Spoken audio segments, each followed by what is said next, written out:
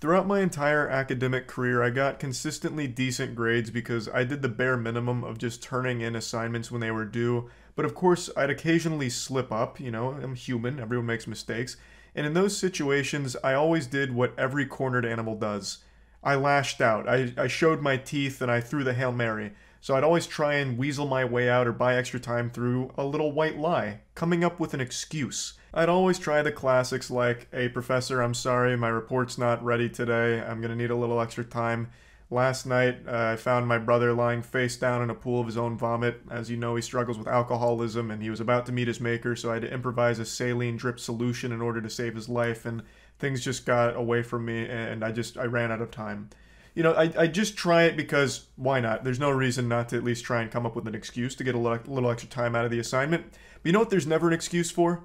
Drunk driving. Yeah, you bet your sweet bippy all of that was to say I have no fucking respect for drunk drivers at all. I think it's inexcusable. I think it's unforgivable. Like there's just never any justification for driving drunk, especially not in today's world where there's like Uber, Lyft, there's like a thousand ways of just getting a ride home. Like Jesus Christ, you could probably find someone on Craigslist that's giving piggyback rides out for 10 bucks. Like there's just always a better way that doesn't involve driving drunk. And the reason I'm talking about that today is because a TikTok star named Amanda Caravalla just lost her whole influencer career because a very embarrassing video has now hit the internet of her DUI that she received last year.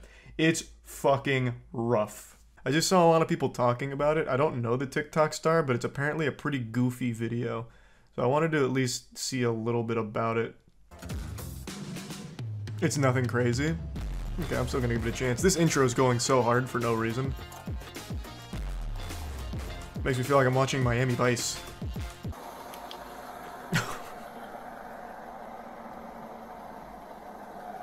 what seems to be the problem, officer? How long are we just gonna stay? I mean, I think we can safely assume she's sleeping here. Maybe knock on the window. Are we timing her? Yeah, it looks like everything's okay here. Oh my god, wait, there's more police officers. Oh, you can't see it. Behind my webcam. There's more police officers right here. Man, this whole block was popping off here. Damn. Everyone's catching the catching the heat out here. I think we can establish that this is no condition to be driving in. She's missed a full cycle already. They might run if he wakes her up. That's a really good point that I didn't think about.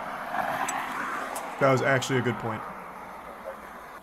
So what's the proper protocol here? Slash her tires so she can't? Like, we're gonna have to wake her up eventually. We can't just let her sleep here all night. Oh. I see, so that was the play. Whoa. Wake up! Put in park! Put the car in park.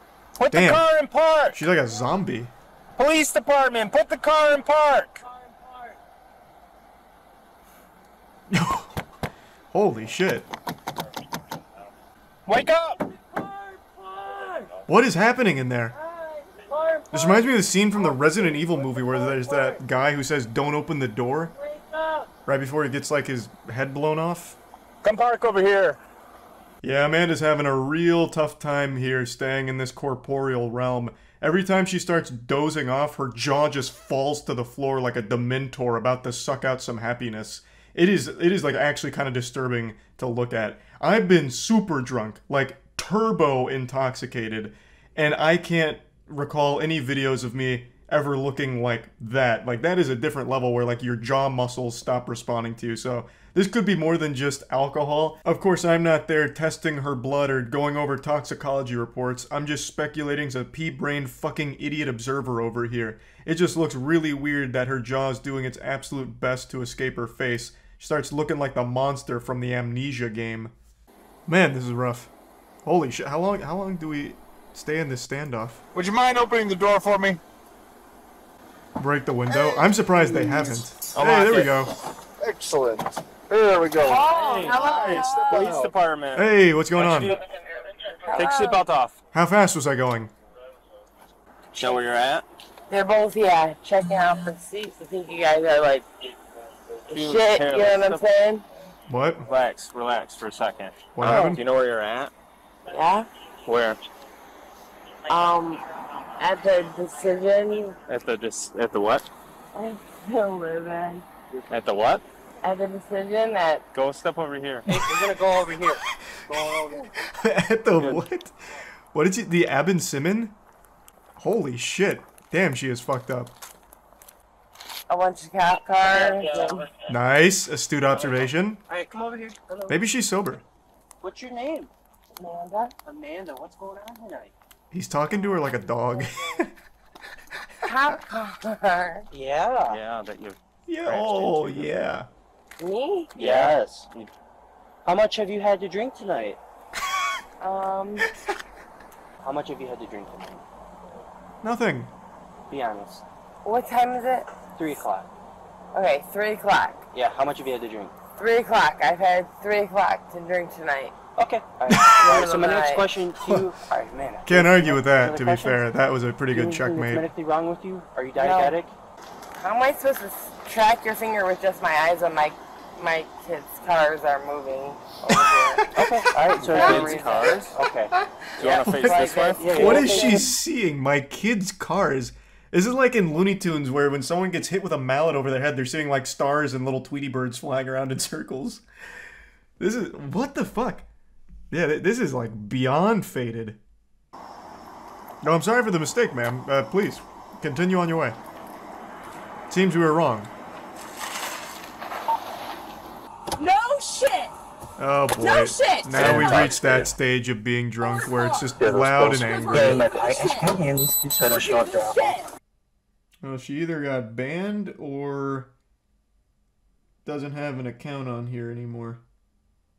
Now, Amanda Caravala wasn't like a super duper TikTok star, but she had almost 2 billion views on the platform before, I'm assuming, being removed from it, or maybe she got laughed off the platform once this video was released. I'm really not sure on the timeline there.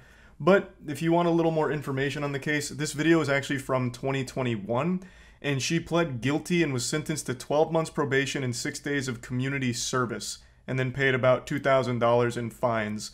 So, overall, she got off pretty easy. Even though she wasn't involved in an accident or there were no victims, at least not that we know of, I still think that this is light sentencing, but of course it could be my own bias because of how much I despise the act of drunk driving. It's needlessly dangerous and endangers not only the driver's life, but anyone in their car and anyone in any car around them. It's fucking ridiculous. So she got off super easy. Like, I mean, goddamn. When they asked her how much she had to drink, her reply was 3 o'clock. She's had 3 o'clock to drink. Do you know how much that is? If you convert that into fluid ounces, that's like 5,000 beers. Like, that is an incredible amount of alcohol she's consumed. Like, her, her BAC must have been like a 10.0. Oh yeah, I also didn't show it in the video here, but I'll just explain it to you. Towards the end of her arrest, she kept asking for someone named Mike Davis to show up to the scene as if she was like trying to summon Batman. Like she repeatedly asks for some vigilante named Mike Davis who apparently works for that police department. And I it- that got a big giggle out of me cuz I love to imagine like Mike Davis hears his name being called somewhere and he hops in his car and his cruiser turns on the siren, scoots in sideways and gets out like an action movie hero and says, "All right, boys, I've got it from here. You're safe now, Amanda." Like I just have to imagine like she must have known of someone loosely in the police department and just tried her best to like get her get out of this by dropping his name to no avail, still getting arrested. And then she makes a huge hoopla in the car on the way there.